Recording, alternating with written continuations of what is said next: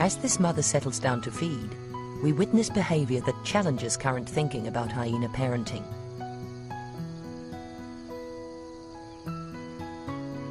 She first feeds her own cub, but then allows someone else's cub to join in. It was previously thought that spotted hyena mothers would only feed their own offspring. The cub then moves on to another female close by, and she too permits it to suckle.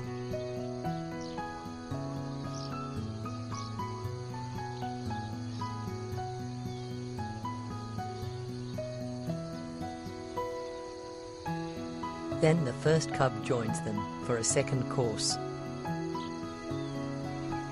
It seems that within a close family circle of mothers, daughters and sisters, females cooperate and may suckle any cub in the nursery. This strategy has survival value. It could ensure that if a mother dies, her cub will still be raised by another family member.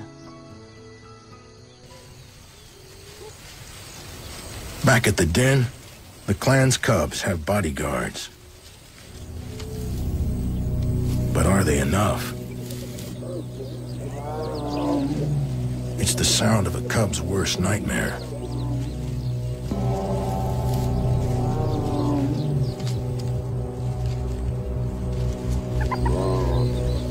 Handful of mothers prepare for battle.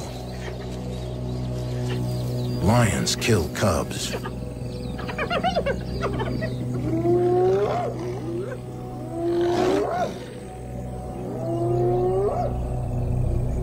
One-on-one, it's no contest.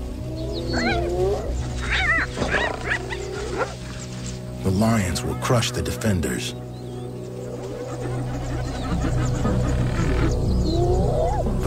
Backup.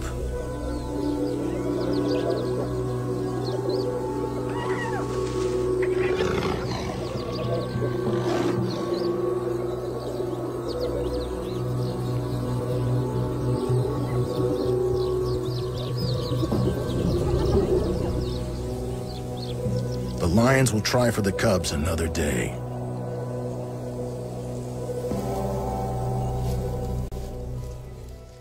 Outside the den, the mother may face a three-month struggle to keep the peace as the cubs continue to